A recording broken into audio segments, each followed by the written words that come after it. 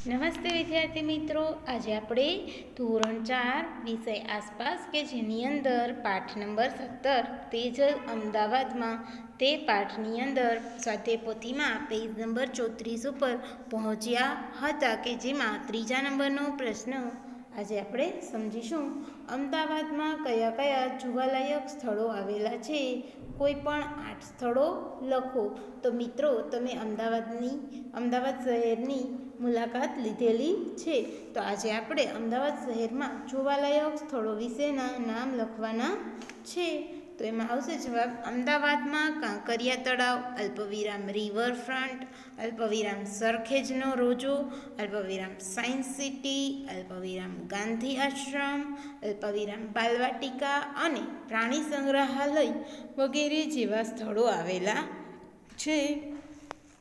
હવે આપણે પ્રશ્ન નંબર છ સમજીશું. પ્રશ્ન નંબર છ છે, નીચેના પ્રશ્નોના ઉત્તર એક બે વાક્યોમાં લખો કે જેની અંદર પહેલા નંબરનો આપણો પ્રશ્ન છે, તે જલને તેની માતાને લઈ ગામથી અમદાવાદ કેમ આવવું પડ્યું હતું? જેનો જવાબ આવશે તેજલની માતા બીમાર હોવાથી તેના ઈલાજ માટે તેજલને અને તેની માતાને ગામથી અમદાવાદ આવવું પડ્યું હતું.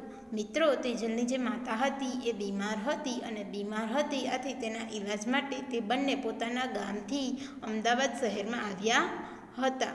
હવે આપણે સમજીશું બીજા નંબરનો પ્રશ્ન. તેજલના મામા રહે છે, ત્યાં વીજળી હશે. તમે કેવી રીતે જાણ્યું? તો એમાં પહેલા નંબરનો આપણે પ્રશ્નનો જવાબ લખીશું. હા તેજલના મામાના તેજલના મામા રહે છે, ત્યાં વીજળી હશે. હવે આપણે બીજા પ્રશ્નનો જવાબ લખીશું. કારણ કે તે વિસ્તારમાં, તે વિસ્તાર મહાનગરપાલિકાની હદમાં આવે છે. આથી ત્યાં વીજળી હશે. હવે આપણે ત્રીજો પ્રશ્ન સમજીશું, મિત્રો. તમારા ઘરમાં પાણી ક્યાંથી આવે છે? તો મિત્રો, તમને બધાને ખબર હશે કે તમારા ઘરની અંદર તમે જે જીવન જરૂરિયાતની વસ્તુ એટલે કે પાણી વાપરો છો તે ક્યાંથી આવે છે? તો મિત્રો, પાણી વગર તો આપણે રહી જ ન શકીએ. તો પાણી તો દરેક મિત્રોના ઘરે આવતું જ હશે. તો મિત્રો, આજે આપણે એનો જવાબ લખવાનો છે કે એ પાણી આપણા ઘરમાં ક્યાંથી આવે છે? અમારા ઘરમાં પાણી મહાનગરપાલિકા દ્વારા પાણી જોડાણથી, પાઇપલાઇનથી આવે છે. હવે આપણે ચોથા નંબરનો પ્રશ્ન લખીશું. તમે તમારા ઘરેથી સ્થળાંતર કર્યું છે? જો હા, તો તમારે સ્થળાંતર કેમ કરવું પડ્યું હતું? એમાં સૌપ્રથમ આપણે પહેલા નંબરના પ્રશ્નનો જવાબ લખીશું. હા, અમે અમારા ઘરેથી સ્થળાંતર કર્યું છે. હવે આપણે બીજા પ્રશ્નનો જવાબ લખીશું, મિત્રો. કારણ કે મારા પપ્પાની બીજા શહેરમાં બદલી થઈ હોવાથી અમે સ્થળાંતર કર્યું હતું. હવે આપણે ત્યાર પછીનો એટલે કે પાંચમા નંબરનો પ્રશ્ન જોઈશું મિત્રો. સ્થળાંતર કરવાથી કોને મુશ્કેલીઓનો સામનો કરવો પડશે? જેમાં જવાબ આવશે, મામાના વિસ્તારમાં રહેતા તમામ ગરીબ લોકોને મુશ્કેલીઓનો સામનો કરવો પડશે. ત્યાર પછીનો એટલે કે છઠ્ઠા નંબરનો પ્રશ્ન, તેજલના મામાના ઘરે કોણ કોણ હતું? તો મિત્રો, આપણે એનો જવાબ લખીશું. તેજલના મામાના ઘરે, તેના મામા, મામી, તેમની બે દીકરીઓ અને એક દીકરો, એમ કુલ પાંચ લોકો હતા. હવે આપણે સાતમા નંબરના પ્રશ્નનો પ્રશ્ન સમજીશું. તેજલનું ગામડાનું ઘર કેવું છે? એમાં જવાબ આવશે, તેજલના ગામડાનું ઘર એક જ રૂમનું છે, પરંતુ તેમાં રસોઈ અને નાહવા માટે જુદી જગ્યા છે તથા બહારની તરફ આંગણું પણ છે. હવે આપણે ત્યાર પછીનો એટલે કે આઠમા નંબરનો પ્રશ્ન સમજીશું. તેજલના મામાની ગલીમાં સવારે કેટલા વાગે પાણી આવે? છે. તેમાં જવાબ આવશે તેજલના મામાની ગલીમાં સવારે ચાર વાગ્યે પાણી આવે છે. હવે આપણે ત્યાર પછીનો એટલે કે નવમા નંબરનો પ્રશ્ન સમજીશું. તેજલના મામી ઘરકામ ઉપરાંત બીજા કયા કામ કરે છે? જેનો જવાબ આવશે તેજલના મામી એટલે કે તે.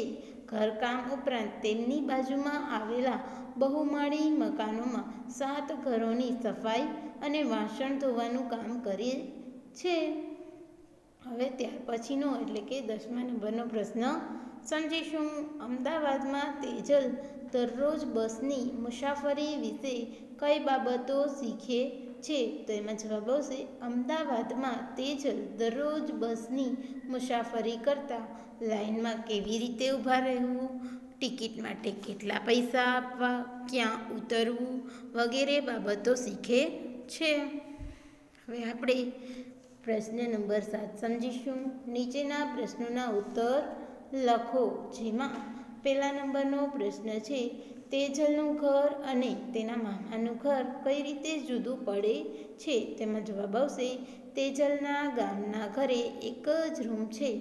ઉપરાંત તેની સામે આંગણું છે, રસોઈ ઘર અને બાથરૂમ પણ છે. પરંતુ મામાના ઘરમાં તો એક જ રૂમ છે અને બધા ત્યાં જ રહે છે. તે જ રૂમમાં બેસવાનું, સૂવાનું, જમવાનું, કપડાં, વાસણ ધોવાના વગેરે કામ કરવામાં આવે છે.